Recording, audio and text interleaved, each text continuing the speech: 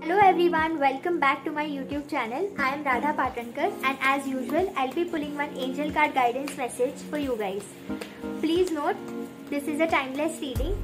So let's see what the angels have for us for today.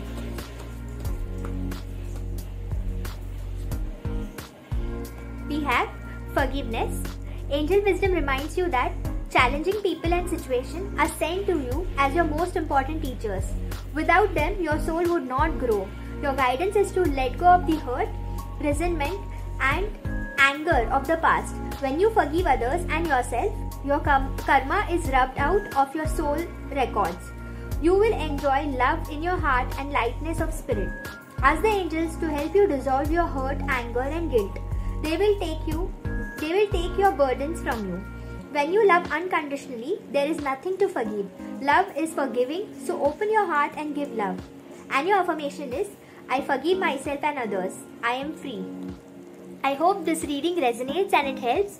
If it does, please don't forget to like, share, comment below and subscribe to my channel. Have a beautiful day and I shall see you in my next one. Bye. Take care.